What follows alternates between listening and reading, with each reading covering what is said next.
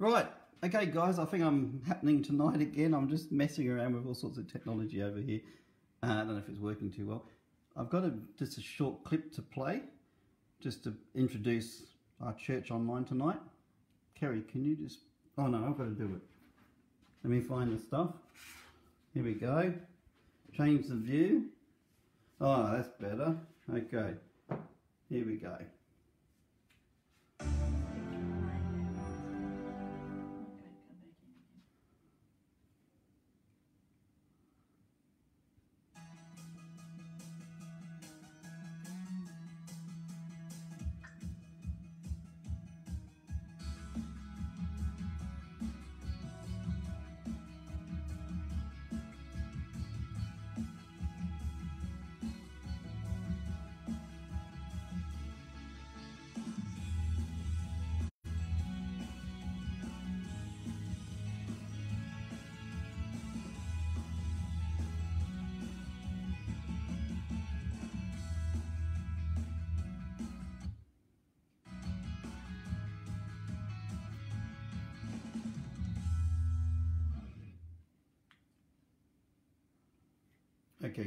Going to kill that for me?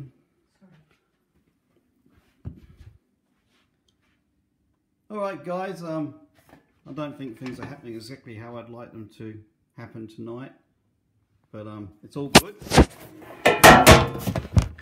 Okay, let me get myself organised. I'm very disorganised tonight, as you can tell. Just trying some different things. All right, I am totally distracted. Okay, well, thank you for tuning in tonight. I hope you're all settled in for the evening, and uh, we're going to continue this great topic I've been preaching about on the, the book of Jonah. And I, I've got a little bit of stuff to go through tonight, and I'm believing it's going to be a blessing to us. And I've chosen to use my iPad tonight, but I'm just thinking that the uh, video quality may be a little bit better. I don't know if it is. Please let me know if you think the quality is better or worse. Normally I use my iPad Mac. If you think this is quite a little bit better than the iMac, uh, let me know and we can uh, look at keep continuing to use uh, this medium on the Facebook and on the iPad. If not, we'll go back to the laptop as I normally do and use my iPad for preaching from. Anyway, ah, let me not rave on. Let me introduce the su- subject. So tonight we're, we're going back to the, uh, the book of Jonah and we're going to start to just explore some more points of interest from this book. I've got my trusty Bible. Good to have a Bible. Good to know some of it. It's good. And um, I've got some notes to, to run out of for tonight. So if you remember last week, uh, we were looking at the book of Jonah, and um, we've, we've sort of called these sermons, um, well, this part of the sermons called to serve. And um, through these series, it's broken up into different points and different topics. Okay, so we, you'll get the gist of it as we continue to go. So, yes, last week we only got through two points. So we looked at the uh, a little bit about Jonah, who he was, and the background of Jonah, and we looked at the first point was called the call, and um, if you remember that from last week, sometimes I don't even remember what I've preached on last week. So if you don't remember that, I look, I forgive you completely. Um, you can either re-watch it or forget about it and just you know watch tonight's. Uh, Jason, g'day to see you, Jason. I'm watching people on here tonight on my iPad. Your names are coming up, so good on you. Great to see you. Mm-hmm. So the yeah, but I haven't got that on here, Kerry. Anyway, so come on. Uh, so we did the call was the first point, and we we talked about, and then the second point uh, was the commission. So the call was I was talking about how the word of the Lord came to Jonah, and we, we talked exclusively and extensively about that. And then we started to talk about the commission in verse 2, the commission where God comes and says, Arise and go. And we spent quite a bit of uh, t- time talking about arising and going and what that all means. And I want to continue tonight on, on this whole point of, of the commission. It's known to many people as the Great Commission, and many people preach uh, a lot about this on the Great Commission. And, you know, like for me, it's a, just a, such a topic that strikes to my heart because of uh, my calling on my life is to missions. And uh, me and Kerry have both responded to the call of God on our lives over many years and developed a ministry um, in missions on that, and and so we're passionate about uh, doing the Great Commission, fulfilling the Great Commission in our lives where we can, and obeying what God has called us to do. So really, it's like a soapbox topic for me in a way. But I also love the um, whole account of Jonah because he's so human. Uh, he goes through many tragedies. He has many mistakes. He makes many bad choices. And in fact, he makes extremely bad choices. And yet, the grace and the mercy of God uh, continues to bring Jonah back into the plan and the purposes of God and put him back on the track of what he was supposed to be doing. He was the most reluctant missionary, and he was probably the most uh, bad prophet in that sense that he, you know his success in this story was not brilliant, except the final results were incredible. And anyway, we'll get to all that as we continue to move on through this series. So I want to look at five aspects of the Great Commission which Jesus gave to his church. And um, he didn't give it to a, a, church denomination, and he didn't give it to a church building or a cathedral uh, or anything else. He gave it to the church, which is the people. We are the church. So, you know, so many people get confused, but we are the church. God didn't give the Great Commission to bricks and, uh, and mortar and stained glass windows. He gave it to people, his people, his family, his children, who could then carry out the Great Commission, what he wanted to take place on this earth. And so we're going to look at um, this com- these commission and this aspect of the Great Commission. And um, this is God's call for every single believer. Now, sometimes people get a you know a bit of a stumbling block over this because it, it's sometimes not always easy to um, hear God and then actually do what God tells us to do. And and you know here's a typical case we're talking about tonight of Jonah hearing from God um, yes, he heard clearly from God, but he didn't really want to do what God had called him to do. He, he really was um, being a little bad boy, you know, and, and, and, getting up to mischief. So, yeah, as Christians, we also have the choice of um, are we going to just live our life for ourselves, or are we going to um, try to outlive the, the Great Commission? Because the Great Commission was not just given to the church, it was given to every single believer. Every person who is a Christian who puts their hands up and says, "Yeah, I want to follow Jesus with all of my heart. Well, the Great Commission is for you. And we'll, look at some of these scriptures tonight um, that talk about the Great Commission. So let me just move this here and to notes over here. Well, this is going to be exciting. Okay, and then I've got to find my Bible. Here we go. Oh, settle in, folks. I'm sorry, I'm, I'm just jiggling all over the place here. Okay, we're going to look at Luke. Matthew, Mark, Luke. Here we go, Luke, chapter 24. Luke chapter 24 and verses maybe 45. Okay. Oh, my, the typing is getting smaller and smaller on my Bible. Okay, now this is quite incredible in my notes it says these words. It says, um, "Those who receive and understand the gospel are to preach to all nations."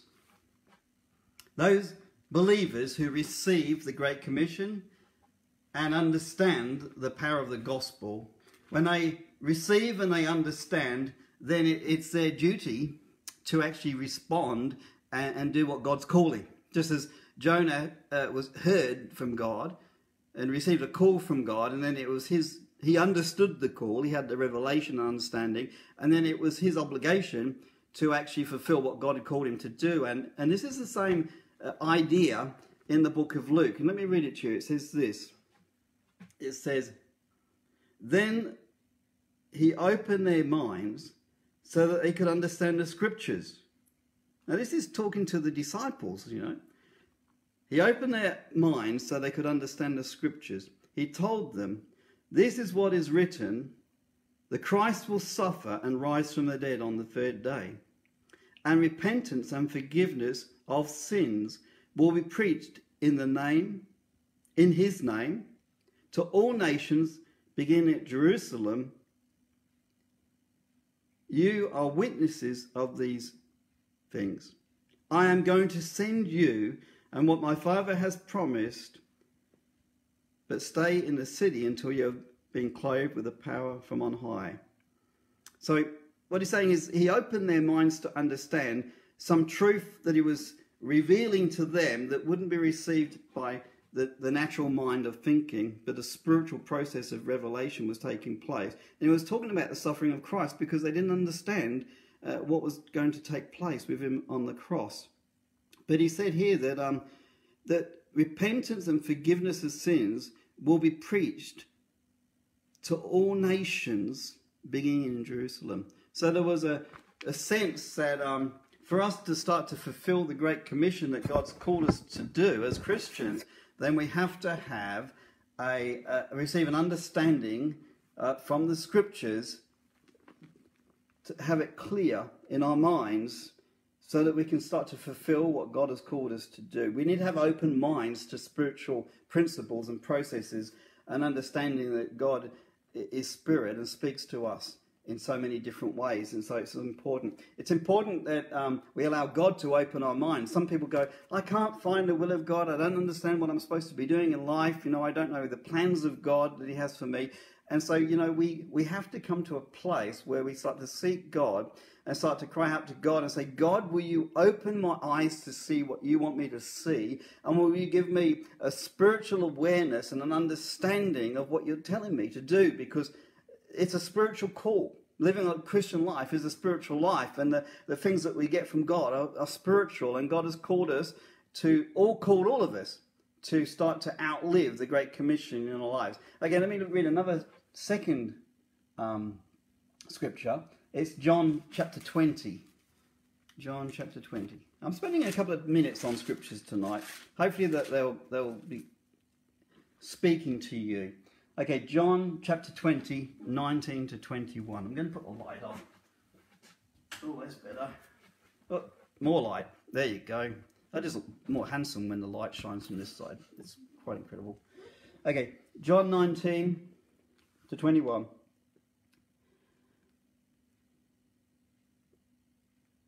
Oh, yes. Okay, to set the scene with these scriptures, okay. On the evening of the first day of the week, when the disciples were together, with the doors locked for fear of the Jews, Jesus came and stood among them and said, Peace be with you. And after he said this, he showed them his hands and side.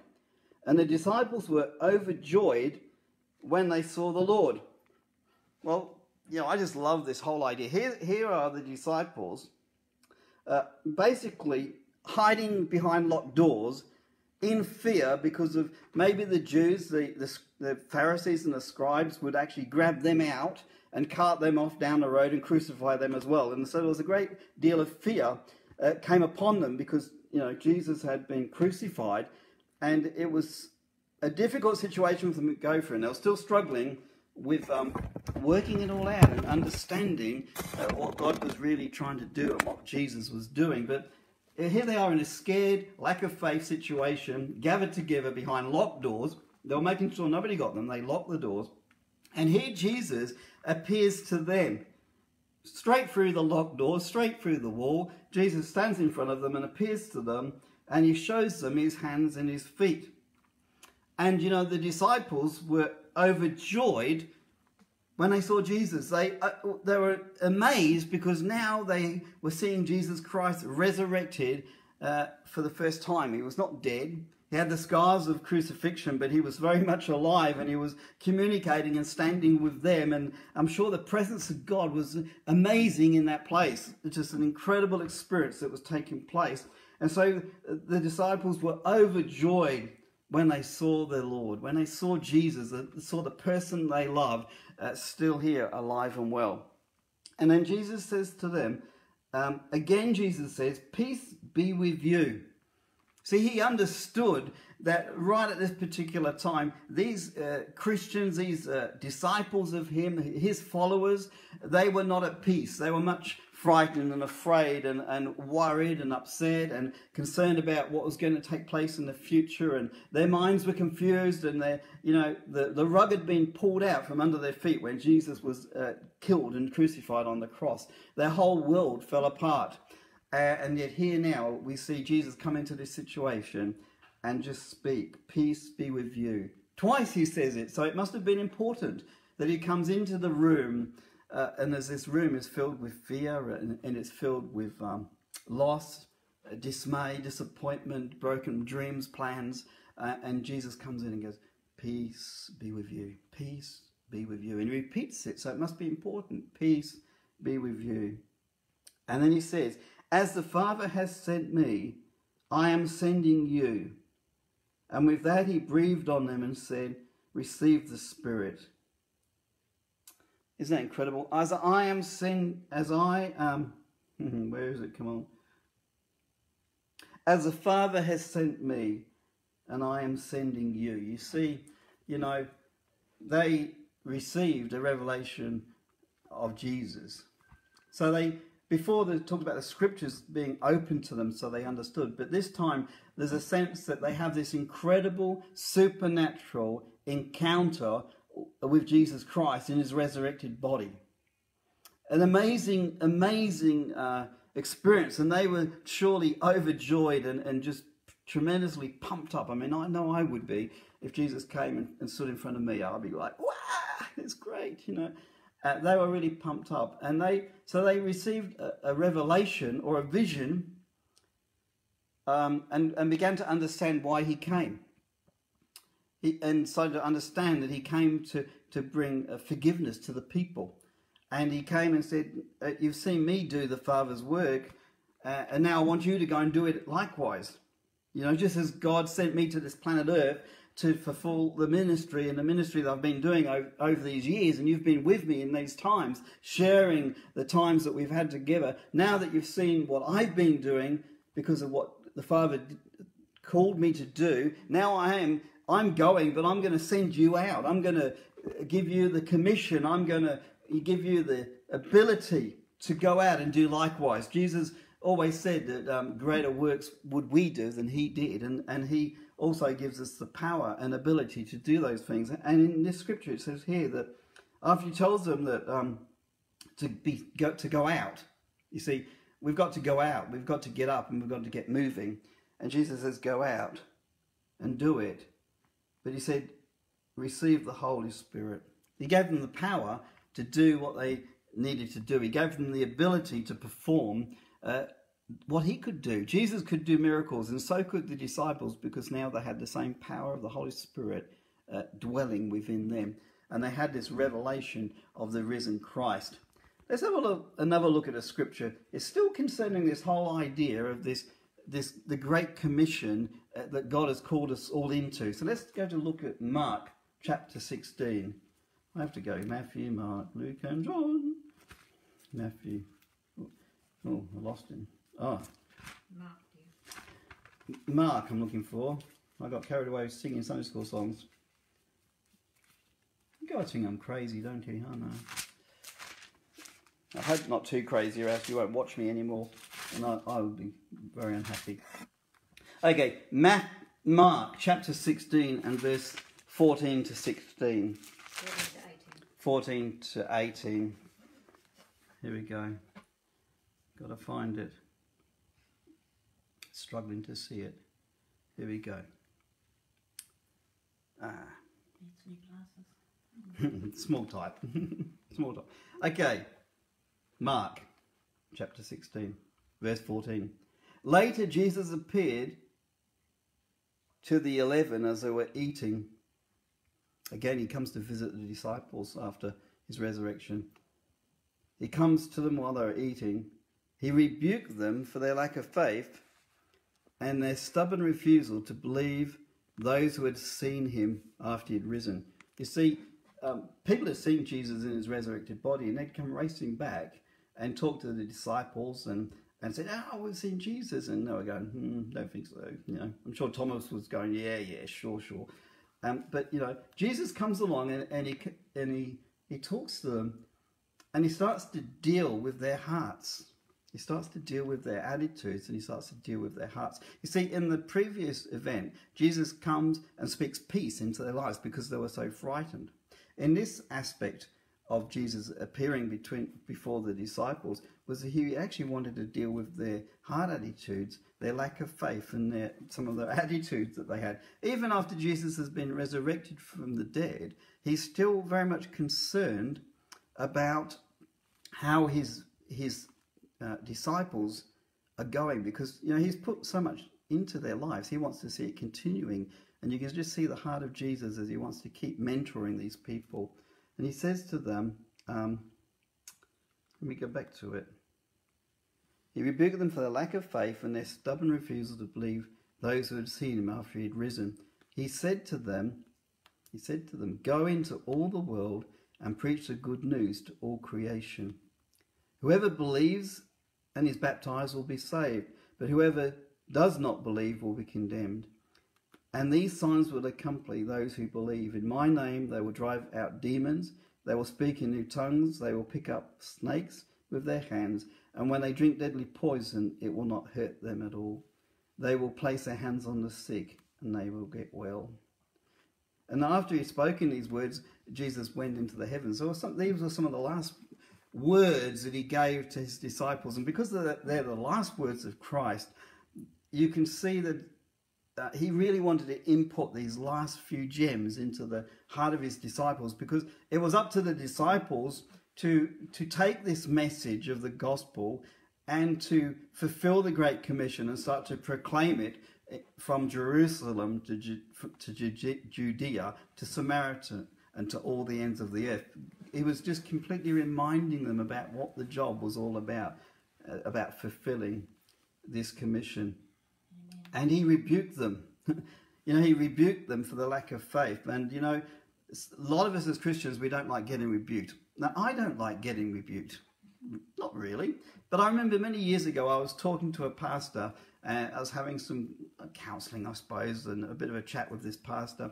And I said to, to him, Pastor, I want you to tell me straight what the situation. When you give me counsel, I want you to be straight with me. I want you to be, if you have to be, honestly blunt with me because I don't want people just patting me on the head and giving me weird answers that make me feel better. I want to deal with some situations in my life and so just give it to me straight. It might hurt me, but it will do me good.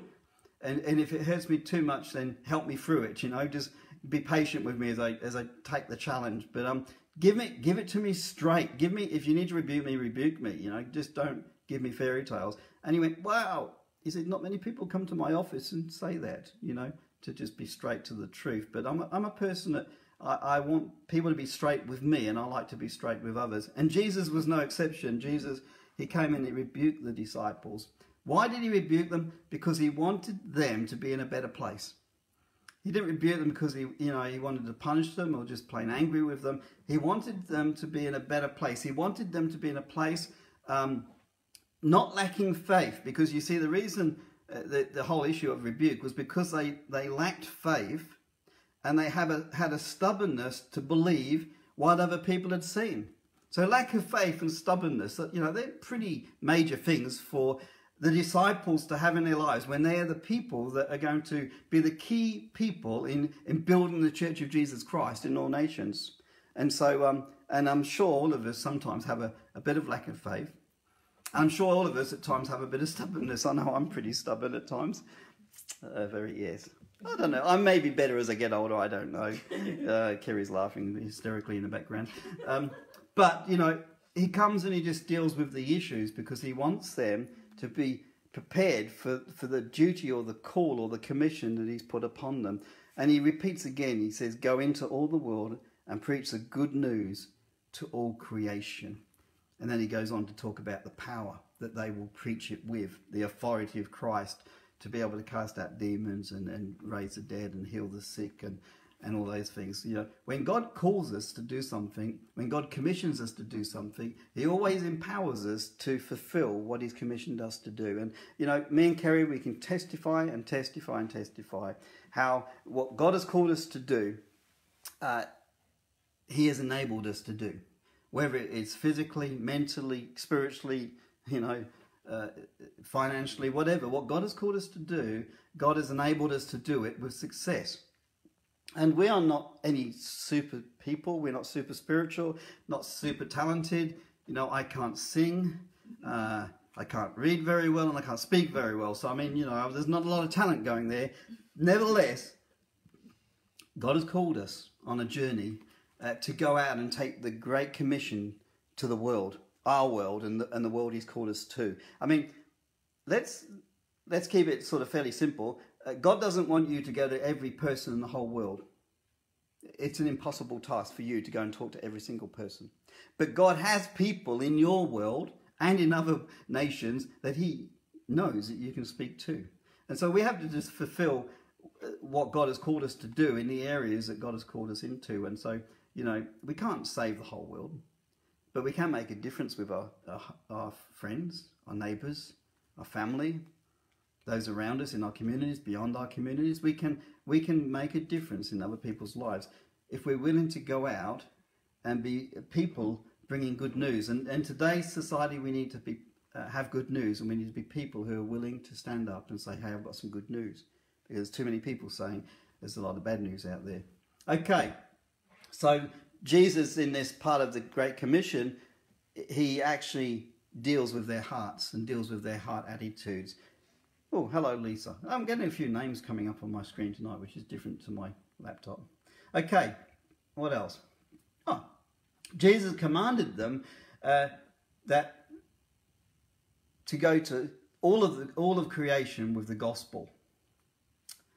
And because when he died, Jesus died on the cross to to take away the curse that had come upon the whole world. And, and now he was saying to the, these disciples, go out and reverse the curse. Go out and reverse the curse because I've died for it and I've paid the price for it. Now go and reverse the curse, and I'm going to give you all the power and all the authority to do that and fulfill that commission that I've put into your lives and I'm speaking into your hearts right now. So that's interesting. Okay, let's look at another scripture. Matthew chapter 28. Matthew chapter 28. 16 to 20. Good. Oh, this is this is in my Bible. I don't know about your Bible. Um, it's it's subtitled "The Great Commission." The Great Commission, and you know we uh, as church people, as uh, ministers of the gospel, and particularly for me and Kerry as, as missionaries, the commission, the Great Commission, it's like wow, come on, it's so good. Okay, Let's have a look what it says here. Reading from verse 16. Then the eleven disciples went to Galilee, to the mountain where Jesus had told them to go. And when they saw him, they worshipped him. But some doubted. Hmm. So there's, there's still that human element, isn't there? You know, they weren't all super spiritual, weren't all faith filled. Uh, there was some people that still doubted. And do you know, I like that because this isn't a fairy tale. This is real life, real people, real situations. And all of us are going to have faith at some times and doubts at other times. But God wants to use all of us, regardless of where we are, have faith or no faith. God still wants to use us and, and bless us. And He wants us to be part of this great commission. So here we go. So He, he says this, okay. When they, when they saw Him, they worshipped Him but some doubted. Then Jesus came to them and said, All authority in heaven and on earth has been given to me. And that's pretty true because they've just seen him resurrected from the dead. That's pretty powerful. That's a powerful thing. But he goes on to say this Therefore, go and make disciples of all nations, baptizing them in the name of the Father and of the Son of the Holy Spirit, and teaching them to Obey everything I've commanded you, and surely I am with you always to the very end of the age. What amazing thing. Therefore, go and make disciples. You know, we've all been called to go into our world, and we've all been given the authority of Jesus Christ. And, you know, here it says some doubted, and some in that group were doubting. But the same compelling uh, urging of Jesus was the same to the doubter or those filled with faith. The same message was going into their hearts. You know, I have all authority, Jesus says, over heaven and earth. It's been given to me. And basically says, now I'm going to give it to you guys. Go and make disciples. Go out and baptize and preach and get people saved. And do all that I've commanded you to do. And he says, and surely I'm with you always to the very end of the age. Jesus gave us an everlasting promise that he never sends us out on a mission and abandons us.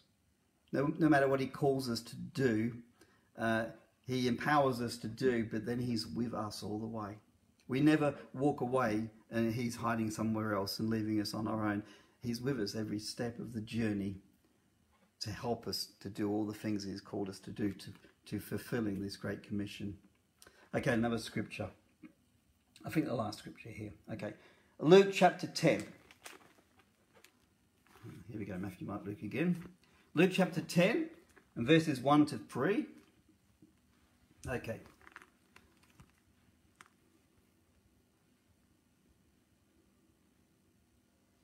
Oh, yes, I can see that. Okay, just got to get where I want to go to. Hmm. After the Lord appointed 72 others and sent them two by two ahead of him to every town and place where he was about to go, he told them, The harvest is plentiful, but the workers are few. Ask the Lord of the harvest, therefore, to send out workers into his harvest field. Go, I'm sending you out like lambs among the wolves. Do not take a purse or a bag or sandals, and do not greet anyone on the road. And he continues on to give them some advice on how to travel and what to do. But he says here, the labourers, the harvest is plentiful, but the workers are few. And you know, as we start to understand the Great Commission and what God's called, calling us to do, it's an enormous task. God says, uh, go to the ends of the earth and preach the gospel to all nations, to every tribe and every tongue and every ethnic group and every, every place in earth. Go to the very ends of the earth. And we, and we start to go, wow, what an enormous job. What, a, what such a big job. How is it possible? How is it possible for little old me to make any impact into this commission that God has called us into? How can I be a world changer? What can I do to change my world? The, the world is such a big place, and even today with uh, internet, electronics, and air travel that's not happening at the moment. But you know, before that, we could access the ends of the earth. And the ends of the earth, I tell you today, are being impacted by the gospel, praise God. And, and we are on, on task.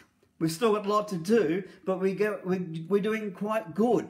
Not good to get comfortable, but we're being we're not being slack and, and our efforts are not going unrewarded. The, the gospel is going out. And I'm excited because one day it will come to an end because every person will have heard and, and had a choice to follow Jesus or not. And after that, Jesus comes back. And, and I'm waiting for that day quite a lot, more and more every day. But here's the important thing about this scripture here. It says here that the harvest is plentiful, but the workers are few. And you know, if we start to look at the enorm- enormity of the task ahead of us to go into all the world and preach the gospel, we can start to get overwhelmed. And we will be overwhelmed if we don't realize there's, there's a key thing here. There's a couple of key things here, actually. So, first of all, we are to ask the Lord of the harvest.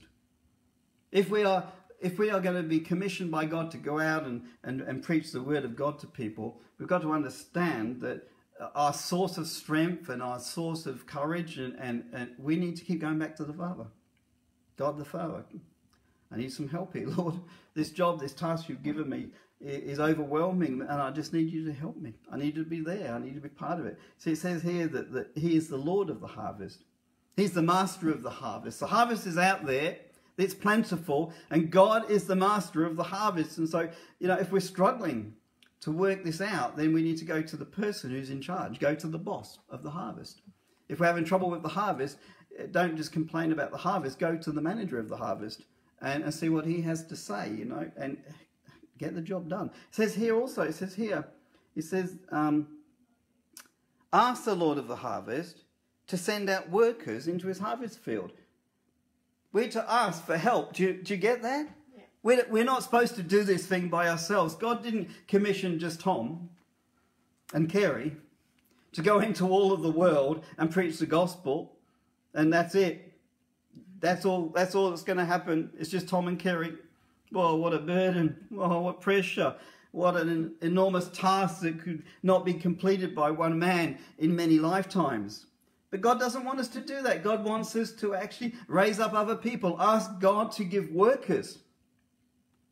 To give us workers, to give us more workers for the harvest. And the more the harvest gets greater, our cry should be to God God, give us more workers so we don't miss or waste or lose the harvest that's coming to us. That, that people will start to get excited about their part that they can play in the harvest. And I want to tell you, I believe it with all of my heart and will continue till the day I die. There is a great harvest coming that we've never seen before.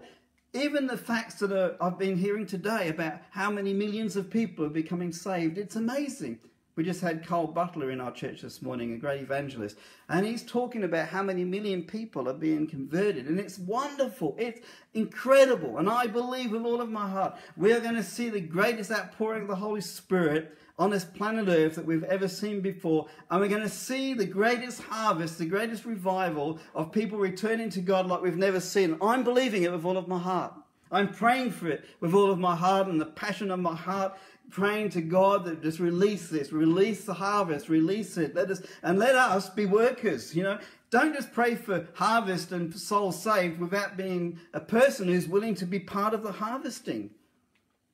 You know, the mangoes aren't just going to fall off the tree and land on your dining table. You've got to be willing to go out and harvest and pick them and bring them in and look after them and put them in your basket. And we need to be Christians who pray for the harvest and believe for a, a great harvest. We're not going down and under and small and quiet. We're getting bigger and better and stronger, more, more vi- vibrant and powerful and excited for Jesus because the church is going to arise like we've never seen before. And we're going to see in this time of history a powerful, wonderful church that is going to influence many nations around the world. And many people are going to come to Jesus. That's what I'm believing for. That's what I'm looking for. That's what I'm holding on to. And that's what I believe. I believe we are ahead of us are the best times. Not the worst of times, the best of times. And I'm believing that with all of my heart. But we need to be people that take a responsibility to be part of the workforce. Be part of the workforce. Don't just pray for the harvest and sit in your little chair going, Hallelujah. Be out there. Be part of the harvesters. Be part of the workers. Find some ripe apples to go and pick. Find someone that's ready to receive Christ and bring them into the kingdom of God. Go out and if you can't do it by yourself, find a friend. If you're too scared to go and witness to somebody, grab a mate and go with you. You know, if the, if the harvest is overwhelming and it's abundant, then grab other people. Carl Butler was saying how, um, you know, he, he goes overseas to these great, great meetings that he has as an evangelist, and there's just too many people to pray for, too many people who want to receive Christ. And it's impossible, he says, at times it's two hours or more praying for people. And he says it's impossible for him to do by himself. And so he enlists teams from the local church and he brings teams out from Australia. And he brings people who are willing to be workers in the harvest. And we're not called to do this alone. We're not called to do this incredible task alone. We're not called to convert the whole world by ourselves. We are called to work together. Build up a network of friends. Be willing to help other people. Pray to God to give us more workers. Well, that was a bit of a, a mouthful then, wasn't it? And, um, know, I told you I, I get very excited about the Great Commission. And you think, yeah, but what's this got to do with the book of Jonah? You know, you, are just taking me from all these New Testament uh, scriptures tonight, and you talked about Jesus uh, speaking to the disciples about the Great Commission. You know, how's that got to do with Jonah? Well, if I go back to my notes, um, Jonah was commissioned. I hope I'm not flicking on Whoa.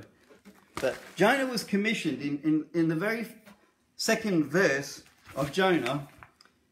God said to him, Arise and go. Arise and go. That was his commission. He'd been called. He had the call of God. He understood what God was telling him what to do. and God gave him the commission. This is the Old Testament version of the New Testament commission. Uh, uh, God was very short of words in the Old Testament. He just said, Arise and go. Jesus had a bit more to say about the Great Commission and gave us a bit more how to arise and how to go, and um, and added to that idea so we can have a greater understanding. So you know, Jonah was commissioned not to go to all the nations, but he was commissioned to go out to Nineveh and um, bring a message to those people in Nineveh. We're commissioned to go to all of the world. but we can't go we can't go to all of the world. But what part of the world does God want you to go to? See, that's the question. That's the question. Uh, and we need to be asking God, well, how do I fit into this, God? How does this commission that you gave to the disciples and you gave to your church, how, how does that fit into my life? How do I work this out into my life? You know, I have a house, I have a job, and I have mortgages and bills or whatever. I have all these things. How do I put these principles into my life? How do they work for me? Well, first of all, we need to realize that this commission, it, it wasn't, um, let me see how I can say this nicely. this commission, it wasn't a suggestion. Jesus didn't come and say, look, mate, guys, disciples, you know, your buddies are mine. Uh, I'm going, I'm chuffing off to heaven soon. Uh, I've got some work that I haven't quite finished yet. Seemed to be called away before I was kind of wanting to. And I got some stuff that needs tidying up and loose ends fixing up. And I'm just suggesting maybe, you know, you'd like to just give it a bit of a go and try and do some stuff that I didn't do, you know, like finish off where I started. See, Jesus didn't talk to the disciples like that. Jesus didn't make a suggestion that, oh, maybe you'd like to do this. He actually gave them a command. He commanded them. He commanded them to go. To go. Go on, he says, go. You know, and you know, these Jews, uh, they were terrified. Ah, the whole world had fallen apart, as I said before, and they were locked into their understanding of just being uh, local. And they thought the gospel was only for the Jews, and it was quite a process of, of the um, disciples and apostles to start to understand that uh, not only was the gospel for the Jews, it was also for the Gentiles. And after they got the idea that it was for the Gentiles, it actually, the, the bigger picture started to develop that Jesus actually wanted all people, all tribes, and all nations, all ethnic groups, all colours, all cultures to start to, to know the good news of the gospel that Jesus came to die for our sins so we could be forgiven, so we could come back into right relationship with God. And that's what Jesus wanted these disciples to do. So, how do we? How do we? How do we? How do we fill the Great Commission? Look, I'm not an evangelist. I'll be truth. Truth, truth, truth. I, I get a bit scared about talking to people sometimes, believe it or not. I'm not one to race down the road and grab a person in the shopping centre and shake demons out of them. You know, I, I'm a little bit, you know, hmm, shy, I guess. So, so how do all of us do it? I mean, some of you are just raring out there evangelists, and you can't stop you. It's wonderful. God bless your gifting, you know. But for every other person who's not an evangelist, how do we fill the Great Commission? We, can't possibly travel to all the ends of the earth to speak to every nation. And even if we could, we'd be too scared. I mean, I could travel to the ends of the earth and get to there and get to a place I wouldn't be able to speak the language and I wouldn't know what to say or anything. So how do we do this? How do we fulfill this commission that, that God's called us to do? How do we do it? And sometimes I don't know how we do it. sometimes I don't know. How do we? Well, we do some of the things I've talked about tonight. We need to have that um, understanding of the scriptures, a scriptural revelation, the word of God speaking into our hearts, to make it clear how we actually fulfill this commission. You see, God's a personal God and God's about our personal lives. And God has a plan for us individually and couples and families. God has a plan for us. And really, it, it's a discovery thing for us to discover what it is. And so that we need to have that spiritual understanding of the scriptures. There needs to be a revelation of the scriptures concerning God's will for our lives. We need to have a, a revelation, a vision of Christ Himself and what God wants for our lives. We need to have a spiritual encounter with God where God starts to put his heart and his dreams and his plans, he starts to put them into our spirit. Now, I can't understand all these things, and I can't even explain all these things, and sometimes it sounds a little bit mystical. Now, I'm not a real crazy mystical Hindu you know, hippie sort of dude. I'm not like that. But there is an element in the Christian life that is kind of mystical. God speaks to us in a spiritual language, in a spiritual way, and He doesn't speak into our intellect or our natural mind. But God he, he brings vision into our hearts and he puts desires into our hearts that they come from him and i don't know how he gets them in there but they get in you see god called me and kerry God, uh, God called us. We know we can follow the steps through our lives where God truly called us into missions and God actually told us where to go to. How did he do that? How did, did, did he say, Tom, you are to go to Ukraine? You know, he never did that. But, you know, as we tr- serve God and we look for ways to serve Him, the revelation of where He wanted us to be step after step, year after year, solidified it into something that was a true plan of his. And, and we ended up going to, to Russia. And God told us through a prophet that he would give us a people group and he would give us people that we would love and they would love us.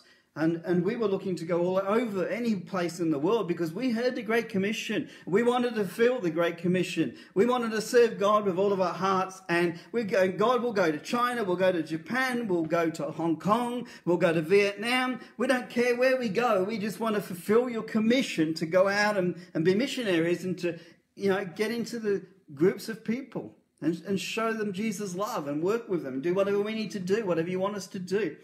And you know, we didn't know exactly which place it was, but by moving forward and by the directions of our life and opportunities that came, we eventually got into Russia for the first time. And, um, you know, we went to a place and the people loved us.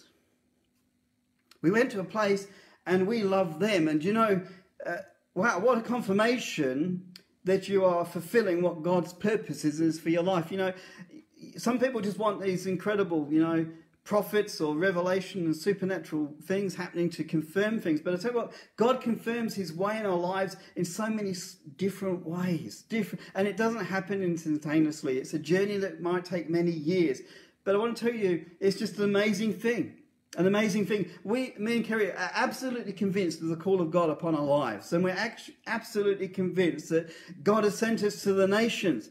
But we're also absolutely convinced even more at, even from today, even today, a fresh revelation to my heart today in church. But we're even convinced even more that our place is not all the nations. We can't go to all the nations. I said it's impossible. So we praying for other missionaries. God send other people to those places, you know. But God has sent us to a place and that place right at this moment is into Ukraine. And we've poured our hearts into Ukraine for many, many, many years now. And we have a wonderful ministry in Ukraine and a, a wonderful um, home base in Ukraine and beautiful people that we love so much. And you know, even today, my heart is aching for Ukraine because God has put a love in my heart for that country.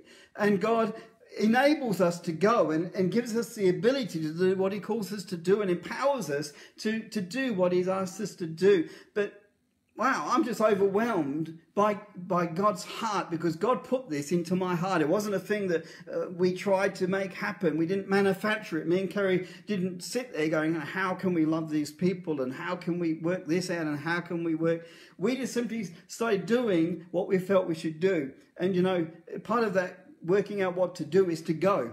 The Bible didn't say sit and work it out, it said go. And you know, sometimes you just got to get going. And I'm sure I said this last week and I'm repeating myself. But you know, part of the fulfilling of the Great Commission is that we need to be people of action. Jonah uh, waited and heard the Lord, and the Lord came and spoke to him, and he gave him a clear understanding of what he needed to do. And then he said, Come on, go. Get out there and go. And, and so we need to be people willing to go. Well, I, I'm nearly off my sermon completely, but we, we're sort of hinting at the edges of it. And I, I just want to tell you that, you know, really, for us as Christians, our life is not just about having a good time for ourselves. It's more than that. Yes, we will have a good time. I tell you what, I'm more blessed in my life than ever I ever have been. I'm more, uh, I don't know, satisfied because I, I'm a visionary and I'm always looking so far ahead and expecting so many more things. But I'm in a good place. I'm in a good place, a, a, better place than I've been in all my life, really. You know, we've got a nice home, we've got a little bit of money, we've got a few nice things around, I've got a nice motorbike parked in my garage. You know, I, I've got some stuff and material things, and I'm blessed. My health is a bit dodgy, but it's still pretty good. You know, I'm blessed. I'm in a good place. But it's not about, Christianity is not about just bless me, Lord, so I can have a good time. Christianity is about fulfilling the Great Commission. Fulfilling the Great Commission. That's what true Christianity is. That's what a true believer does. That's what a disciple of Jesus, a follower of Jesus, does. He fulfills the Great Commission. Jesus didn't give it as a choice. There was not an optional box to tick. There was not multiple questions and you, you tick off what you like. Jesus, uh, as God came to Jonah, Jesus comes to us and he says, arise and go. And we've got to start going. And you might not know where you're going to go, but sometimes you have to make a, a step of faith and you have to start moving in a direction. And as you move in a direction, the Lord has a miraculous way of steering you into his paths and the way he wants you to go. Okay, Jonah um, was, we often talk about that Jonah was, you know, trying to escape from God. You know, because you know you know if you've read your Bible a few times or you've been in Sunday school, you know that when actually God told Jonah to go to Nineveh, we all know that Jonah actually didn't go to Nineveh, did he? Who knows that? yep. Yeah. He didn't. He went the opposite way. Oh, it makes me laugh so much. It's just like us, isn't it? God sometimes deals with us in our life and has dealings in our life, and we might be going through some hard times because God is actually trying to get something through to us. Sometimes when life's a bit of a mess, God is trying to tell us something. And sometimes we're so involved in the mess, we're not hearing what God is trying to say. And sometimes God uses many situations, good and bad, to lead us and guide us into fulfilling His great commission and the call of God on our lives and His plan and purpose for us. But you know, Jonah was um, maybe trying to get away from God. Maybe trying to get away. I've tried to get away from God and it doesn't work. If you're in a place where you're trying to get away or trying to keep your distance away from God, it doesn't work. And I tell you what, if you want if you want just that release of joy and happiness and, and satisfaction in your life, you need to stop resisting God and you need to start running towards Him. Uh, don't run away from Him like Jonah did. Learn Jonah's lesson. Don't run from God. If you're just sitting, don't sit. don't be a sitter. Be a get up and doer. Anyway, sometimes people say that, that Jonah was trying to get away from God. But, you know, really, I think even Jonah knew that was impossible. Look, Jonah was a prophet. so he was one of those special men in the Old Testament. Not everybody was a prophet like today. Everybody's a prophet today, I've found. Get on the internet and onto YouTube, and everybody's a prophet. But in the Old Testament, there were only so many selected prophets. And um, if you prophesied the wrong thing, you were stoned. So I don't think people stepped up for prophetic ministry too quickly like today. Many people want the prophetic, but anyway, Jonah was not. Uh, he was not a person that didn't know God and know about God. He had, a, he had a good relationship with God, and God spoke to him. He was God's messenger. He was God's prophet, trumpet, uh, pronouncer of good and bad things that God would reveal to him to speak to the people of Israel. And, and, and I believe with all of my heart that even though Jonah deliberately went in the opposite direction to what he should be going, I don't believe he was really trying to get away from God. Because I'm sure he would have known you, it's impossible. I'm sure if you're a Christ, if you're a Christian, if you're a backslidden Christian, if you're a Christian who, who is not connected to God for many years, I want to tell you, you know, don't you? You know it's impossible to get away from God. It, even in my life, maybe Kerry's life and, and, and Wendy. Wendy's life, maybe. Maybe there's been times when you, you think you can escape God. Maybe there's times you hope or wish with all of your heart you could escape God. But you know, it's not possible. And, and, and I don't think Jonah was trying to escape God. I don't think Jonah was trying to escape God. What Jonah was trying to escape was the word of God. Now, listen, just listen. Listen to this. See, God came to Jonah and said, Jonah, Arise and go to Nineveh. That was God's word. And he was given the plan and what to say. He knew, he understood, he had a good revelation of his job and what he needed to do. So there was no doubt in his mind. But Jonah didn't want to go to Nineveh. That's the bottom line. Jonah did not want to go there. He was fearful. He didn't like them. They were his enemies. There was many, many cultural things that were going on in Jonah's mind and heart. But he absolutely did not want to go to Nineveh.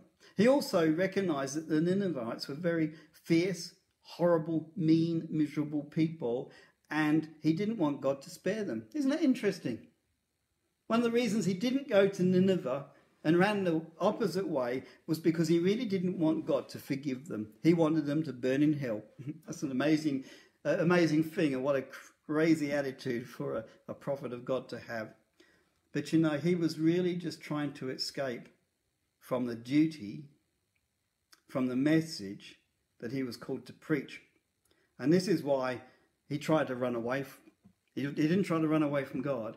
He tried to run away from the responsibility of delivering the message that God had told him to deliver. And I'm going to finish right here. Now, God has commissioned all of us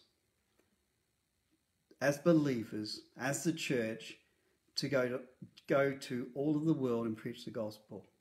That's one of the purposes and plans that God has. One of them, there's many, but there's one that's a big one.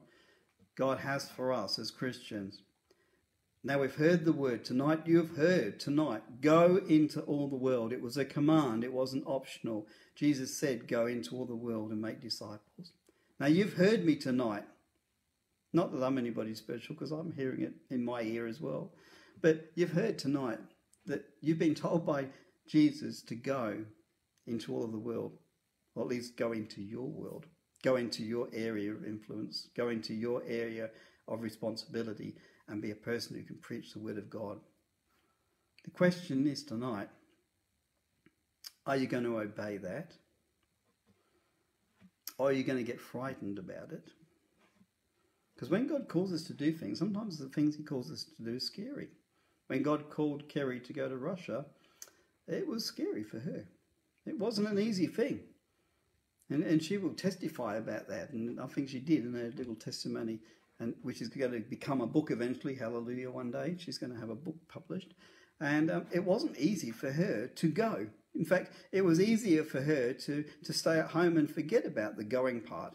But you know, in her heart, she knew that she'd heard the message and she needed to respond and go. And I, am saying tonight to you tonight, you know, when God comes to us and asks us to do something, uh, sometimes it's difficult. Sometimes it goes against our fleshly desires and the things that we want, it goes against our plans and, and our dreams and our ideas of how we want to live our life. Sometimes God's word comes abruptly and strongly, and it's like, wow, I'm not ready for that. You know, I'm, you look through the Old Testament at, at, at, some of the situations that happen where people weren't allowed to bury their family, but they just had to go. You know, uh, God seems to be unreasonable at times, and and but who are we to debate with God whether He's correct or not correct? When God calls us, we need to obey, and yet sometimes, uh, if it's not so pleasant, we don't want to do it. And I think of all the missionaries that heard the call of God. And, you know, the early missionaries to going to Africa where they took their coffins with them because they knew they'd never come back. They knew that that's where they would die and maybe didn't live very long under the situations over there. See, there is a great responsibility when we have the revelation and understanding. There's a great responsibility when God speaks into our lives. There's a great responsibility that we then have to put into action. And you know, as we look through this story of Jonah, we will we'll discover what he did and what went well and what didn't go well. But what, what has God called you to do?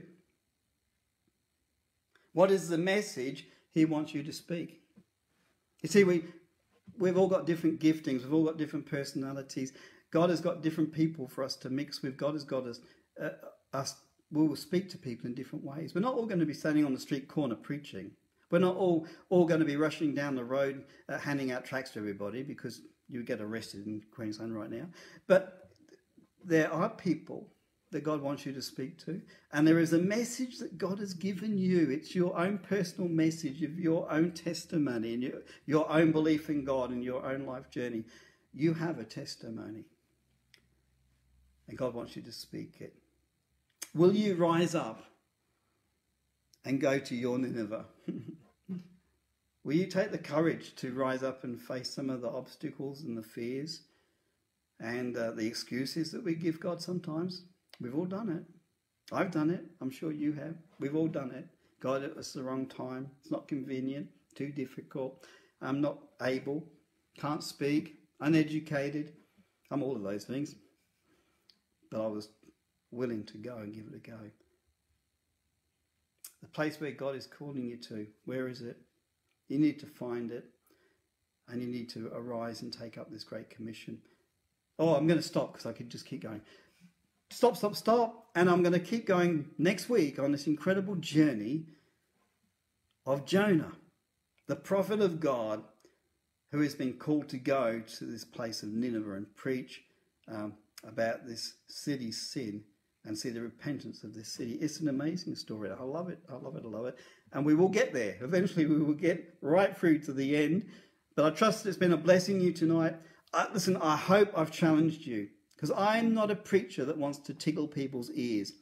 Maybe that's why I don't have success sometimes. But I'm not a person that likes just to, you know, just be all lovey and dovey and say nice things. I, I, if you're uncomfortable tonight, I don't mind because I want the Holy Spirit to speak into your heart, speak into your life, and touch your life in such a powerful way that you start to live out your full, full potential for God and you take up the Great Commission with all of your heart and all of your energy and you fulfill what God has called you to do.